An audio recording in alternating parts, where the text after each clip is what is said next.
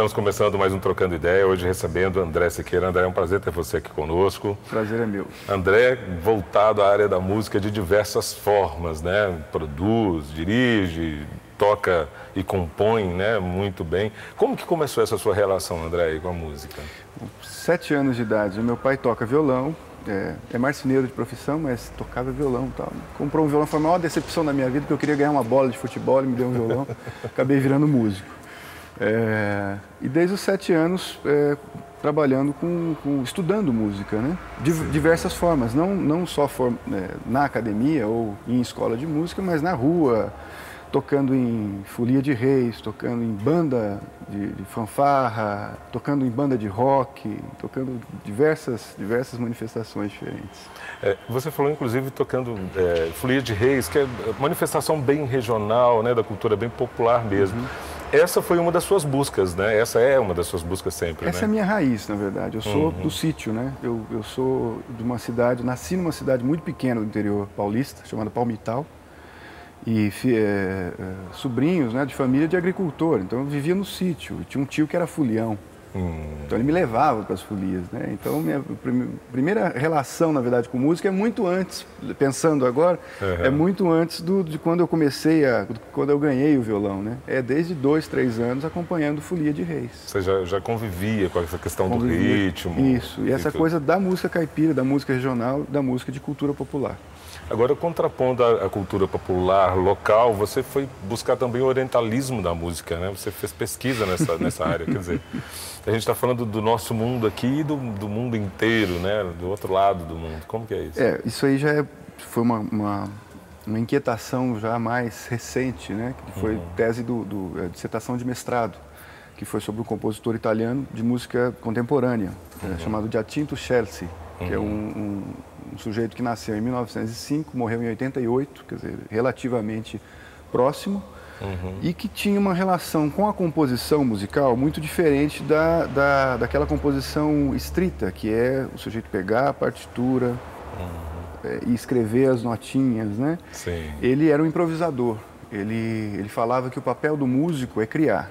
A escrita uhum. é papel do artesão.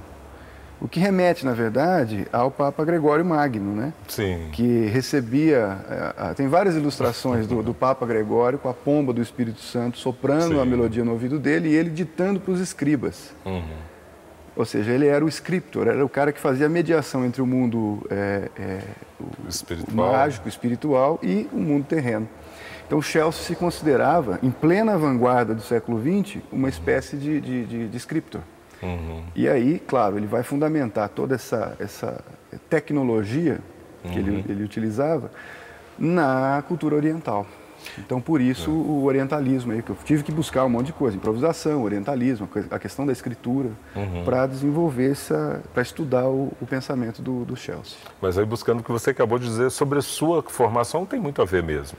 Você fala muito desse sentimento, do que vem de você, então. Uhum. É isso que você utiliza para é, na verdade, compor? é uma mistura as duas coisas. Por exemplo, a questão da improvisação, da obra aberta, da, da, da forma variável, Uhum. Eu utilizo, só que eu não utilizo com, a, com uma linguagem nem como uma instrumentação de música eletroacústica ou de música contemporânea. Eu utilizo isso na viola caipira. Então, eu estou uhum. tentando fazer uma junção desses dois universos aí, que é a música de vanguarda, de uhum. pesquisa, e a música de cultura popular, que é riquíssima. Uhum. Né? Aí você já faz essa ligação, mas você utiliza com uma certa ousadia, né? Um exemplo é a música Tangram, né? Do, do, do seu disco que Quer dizer, ela pode ser tocada de formas diferentes? Como assim, né? Ela, vamos dizer que ela pode, ela pode ser chamada de uma música democrática, no sentido mais puro da palavra, né? É. Cada músico que entra contribui com alguma coisa e eu não estou uhum. preocupado em determinar os parâmetros. A gente é. vai dialogando. Mas explica um pouquinho como é essa formação, assim, né? Como que você definiu a, essa música Tangram é, para que ela tenha essas possibilidades sem perder a, a sua musicalidade? Elas são três partes, é, uhum. três partes assim que você perceba como parte, como como é, forma determinada. São três momentos que acontece. Você percebe só que, essa, é, só que entre esses três momentos, quer dizer, no intervalo entre, entre essas partes, é, acontecem muitas coisas. Uhum. E isso depende de quem está tocando. Então, o músico lança uma ideia, o outro músico vai pegar aquela ideia e vai desenvolver. Uhum. Isso é arriscado. Mas Sim. eu não acredito em improvisação sem risco. Uma, uma das coisas que determina a improvisação é o risco. Quem não corre risco não improvisa. Né? E aí não tem jeito, né? e, e, ela acontece cada vez de um jeito, porque essas formas, por exemplo, a parte C pode estar no lugar da parte A e a gente fica brincando com isso. E cada vez ela acontece de uma forma. De um Você jeito. inverte mesmo essas posições de acordo com a sua vontade naquele dia? É, diria que não é nem vontade. Uhum. É de acordo com o que a própria música que está acontecendo. No momento ela vai uhum. indicando. Então, mas lá o scriptor no seu ouvido, ah, você está um pouquinho não, tô, sentido. Não, não, tô fora disso. Não quero ser médium, não. É, não, é, não é isso. Não tenho esse, essa, esse aprimoramento espiritual para falar que eu sou um médium. Não, não é isso. Uhum. É simplesmente a utilização de, uma, de, uma, de um conceito mesmo, na, aplicado à composição. Com certeza. Tangram faz parte do disco Litos, mas a gente vai falar um pouco sobre esse CD logo depois do intervalo. A gente vai dar uma pequena pausa no Trocando Ideia. Voltamos já.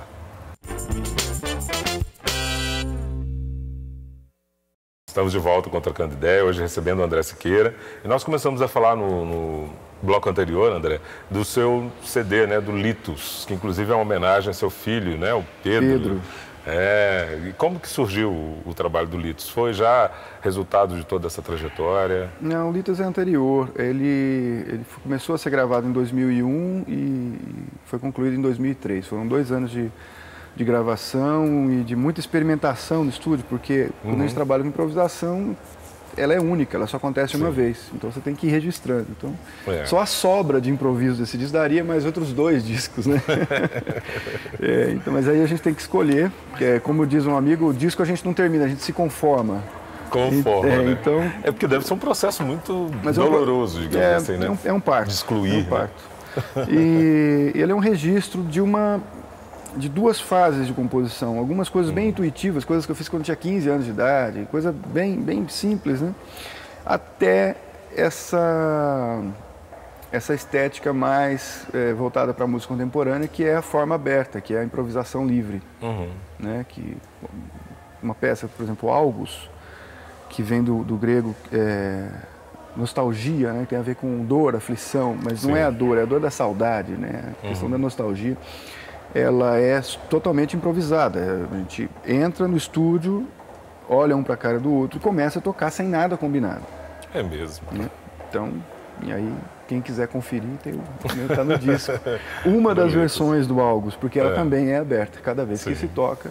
Sim. Até algum roteiro, mas esse roteiro ele não é fixo de jeito nenhum, ele é aberto. É, você ainda enxerga que o Brasil caminha ainda, tem muito a caminhar nesse sentido de valorização do instrumental? Tem, mas já melhorou muito. Melhorou. Melhorou né? demais. Hoje em dia a gente tem internet, né, que, eh, que possibilita uma, uma, divulgação ampla. Ajuda muito. Da, da, música instrumental e a qualidade dos músicos está melhor. Uhum. A quantidade de, de, de, universidades, de faculdades de música que se abriram no país uhum. é, contribuíram muito para elevar o nível do músico. Uhum. Quer dizer, o músico agora tem a possibilidade de fazer um curso superior. Há, há 20, 20, 30 anos isso era impensável. É. A pessoa tinha que aprender lá com um professor específico ou no conservatório e tal. Então, a, e a universidade ela está afinada com as pesquisas em música. Uhum. Então isso vai melhorando o nível. Hoje em dia, putz, quantidade de músicos bons tocando bem e compondo muito bem, o que é uhum. importante também. Não é só Sim. tocar, né? Você tem que diversificar a tua formação. Sim.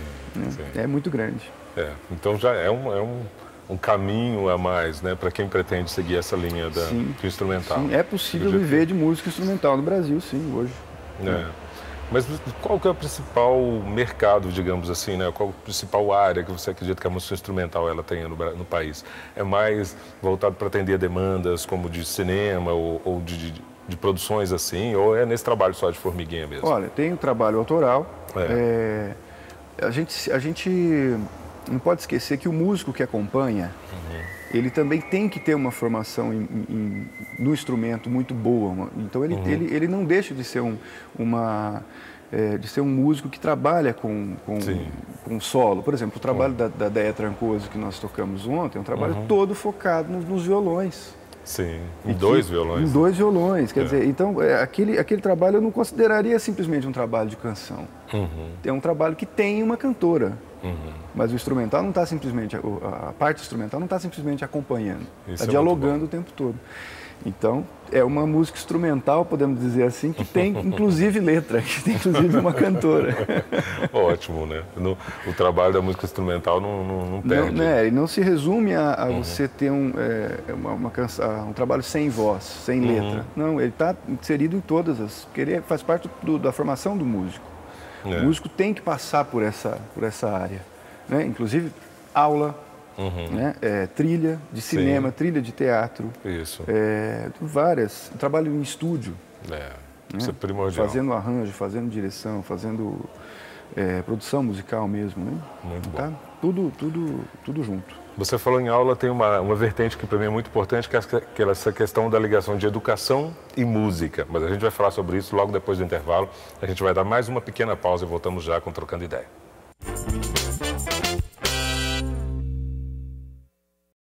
Trocando Ideia já está de volta, hoje recebendo o André Siqueira. André, a gente falou um pouco sobre, aliás, eu deixei né, a ponta ali para a gente falar de educação e música, né, que é uma das suas preocupações. Né? Você, além de pesquisar nessa área, você também tem essa, é, essa intenção né, de que a música se proponha mais esse fim da educação. Como é isso? Bom, eu sou licenciado em música, né? Uhum. É, eu fiz minha, tenho minha formação na, na Universidade Estadual de Londrina, Paraná. Sim.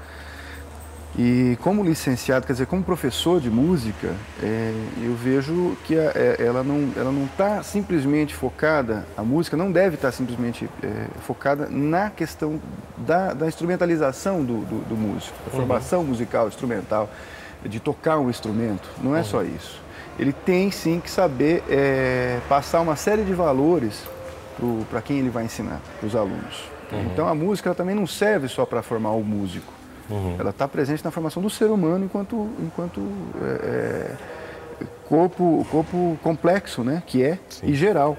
Não só no, no, na formação do instrumentista, a música ela resolve vários problemas. Inclusive tem, tem uma, uma área, uma tendência nova de musicoterapia que está é, que é recente ainda, né? mas que, putz, cura doença, uma coisa né, maluca, ajuda o sujeito a, a, a se regenerar de, de, de, males.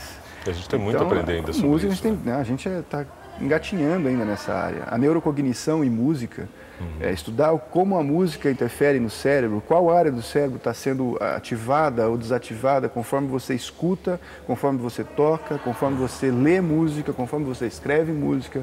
Uhum. Cada uma dessas atividades ativa uma área diferente do cérebro. Sim. Então, então você acredita mesmo na música como um, fator de mudança social a, mesmo? A música é uma área de conhecimento. Isso é. fica, precisa ficar claro. A música é uma área de conhecimento. Uhum. Assim como a história, a filosofia, uhum. as letras. Sim. É uma área de conhecimento como qualquer outra. Né? E ela precisa, sim, ser valorizada e ser, ser, ser inserida na sociedade dessa uhum. forma. Não simplesmente como entretenimento. Uhum. Ela não é só entretenimento. Sim. Apesar de, da indústria, é. mais uma vez, afirmar e querer reduzir a música a isso. A música é. tem um é. poder transformador muito grande. Muito maior. Então, ela é uma área de conhecimento e ela tem que estar inserida. Agora voltou a aula de música né, nas escolas. Sim. Está voltando aí. Então eu acredito que daqui 20 anos, que é um processo lento, não tem jeito, daqui 20 anos a gente consiga ter uma, uma resposta disso, do que, do que a música propicia para o ser humano. Né, como, é. enquanto área de conhecimento. Mas você acha que, inclusive, com essas aulas de música nas escolas, isso pode mudar, inclusive, o nível de exigência de um público, né, ouvinte, no futuro? Isso ah, vai interferir certeza, claramente? Com certeza. A partir do momento que você compreende a estrutura musical, Sim. você passa a ter uma, uma crítica estética muito maior. É. Então você vai saber se aquilo é produção em série, por exemplo, uhum. né, com padrões todos determinados e, e repetitivos, é, ou se, iguais, né, ou se tem alguma é, alguma novidade em termos de criação naquilo, se, se cria-se alguma linguagem com aquilo ou uhum. não. Acho que a grande questão agora é essa, né? É tentar criar linguagens novas. Sim. E, e a, a, apesar de muitas pessoas falarem o contrário, tudo já foi criado, eu não acredito nisso. Não, o que, que, que a gente está fazendo estudando música? É. O prazer nosso é criação, não é, não é simplesmente repetição de fórmula. Não, e como hum? tudo foi criado, né? tem tanta coisa nova, tanta coisa que a gente não tem referência. Né? Cada vez acontece, parece uma coisa nova, né? então é. tem muita coisa para ser feita ainda. É, inclusive, falando nesse aspecto, o Brasil, eu acho que é um exemplo, né? você que teve essa oportunidade de pesquisar fora, né? Essa mistura brasileira traz essa possibilidade de ter mais um novo diferenciado? Mas tem muita coisa é, é, a, a ser descoberta. Aqui em, Minas, é? aqui em, Minas, Gerais, por exemplo, vocês têm um manancial de cultura popular absurdo. Uhum. Quando eu vim para cá, o que mais me impressionou não foi, o que me impressionou em Minas não foi nem a música erudita, nem a música instrumental, foi, a, foi a, o congado, foi a música de cultura popular que é uhum. é muito rica e que ainda não foi explorada. E ela consegue sobreviver sem esse mercado absurdo, né? Porque ela é do povo. É. Porque ela é do povo. Ela não, ela não depende disso e ela não é, não é para as pessoas que estão é, trabalhando com isso, ela não é simplesmente música. Ela é uhum. música, ela é manifestação social, ela é religião. Está uhum. Tá tudo junto. É, é, muito íntimo isso, né? muito interior. Agora, você, além dessa, desse trabalho musical, você trabalha em outras áreas, né? Produz, dirige. Como que é o convívio com tudo isso? Né? O professor, o músico, é, tem uma interligação de um, propósito único sempre ou, ou não? Olha, eu, acredito que o músico, é, eu acredito no músico é, completo, aquele Sim. cara que sabe fazer tudo isso. Pelo uhum. menos é o que eu tento passar para os meus alunos. Você não é violonista simplesmente, você é violonista, mas você é arranjador, você é compositor, você tem que conhecer de acústica musical para trabalhar num estúdio, uhum. saber como posicionar um microfone para fazer a gravação de um instrumento, uhum. saber inclusive ter uma boa relação interpessoal, uhum. porque quando você pega um trabalho, não é simplesmente uma música que você está produzindo, é a vida de uma pessoa. Sim. A pessoa se projeta naquela composição dela. É. Então você tem que ter esse, tem que saber lidar com tudo isso. Mas acontece às vezes ainda de você olhar e falar assim, não era exatamente o que eu queria, como que é? Não, como eu disse no começo, disco a gente não termina, a gente se conforma. é, é. É, o, o, processo de registro de uma obra ele é, é. muito complexo, é. porque nem sempre acontece do jeito que você quer. E você tem que chegar no meio termo e falar, não, tudo bem, acho que está honesto, vamos, Vamos, né? Tem hora que você tem que, tem que escolher terminar o disco, porque senão é. você não termina nunca. Vai falando então da sua inconformidade, né? As músicas que ficaram de fora. Nos próximos trabalhos, você já pensa, tem trabalhos futuros sendo planejados? Estou com um disco já é, sendo produzido, pré-produção, né? Estou uhum.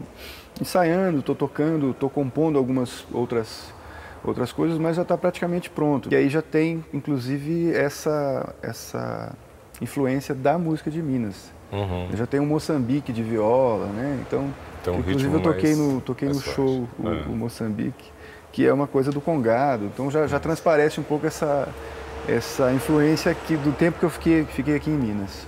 Que bom saber que Minas Gerais influenciou um pouco no seu muito, trabalho. Muito, muito, muito. André, um prazer ter você aqui prazer conosco. Prazer foi meu, muito obrigado. Parabéns pelo festival, tá lindo. Ah, obrigado, obrigado. O Trocando Ideia fica por aqui. Até o próximo. you